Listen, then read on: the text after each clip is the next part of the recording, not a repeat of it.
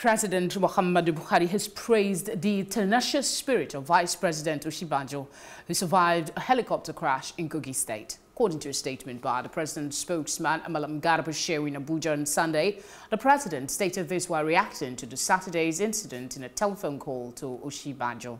The president said, we give glory to Almighty God for sparing your life. I'm impressed by your tenacious spirit, which enabled you to continue on your campaign engagement despite the shock of the crash.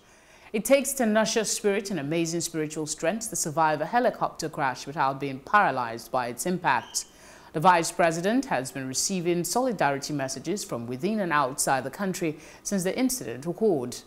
Osinbajo at the Thanksgiving service in Lokoja had said that no amount of thanksgiving and praises to God will be enough for saving his life and nine others in Saturday's helicopter crash.